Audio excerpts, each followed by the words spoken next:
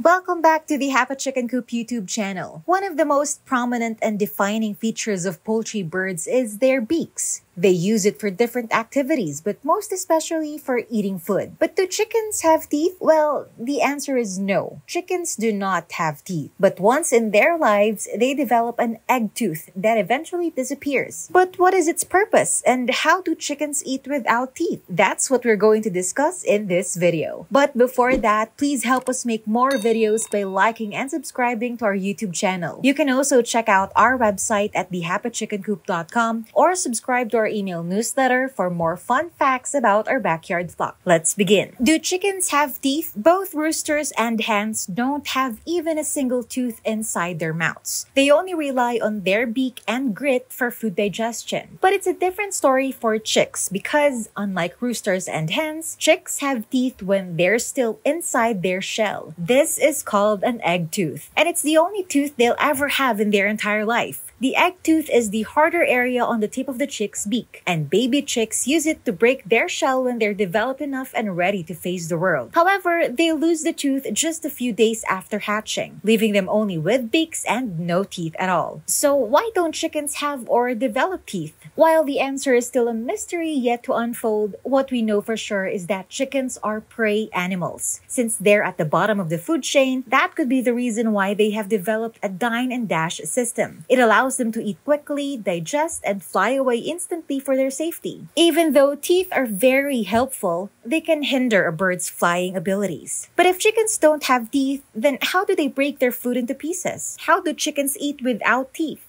One way chickens do this is by repeatedly pecking at the food and banging it against the ground to break it into small pieces until they're able to swallow the food. Then they store it in their crop, the balloon type pouch located at the base of their neck. The food they consume during daytime stays in their crop and combines with water or other liquids and good bacteria. The food stored in their crop goes down the digestive tract and when it reaches the gizzard, that's where more food grinding occurs. While foraging for food during the daytime, they also collect and pick up small stones and pebbles and swallow them, which can serve as the grit. Grit is used in the gizzard to break down the food until it's tiny enough to pass through the intestine. Some let their chickens forage for small stones and pebbles, while others give commercial grit instead. While grit, pebbles, and stones don't have nutritional benefit to chickens, they sure are important for our feathered friends to digest their food properly. And don't worry about them overfeeding on grit because they can tell when they've had enough. To sum it all up, chickens, the most domesticated fowl on the planet,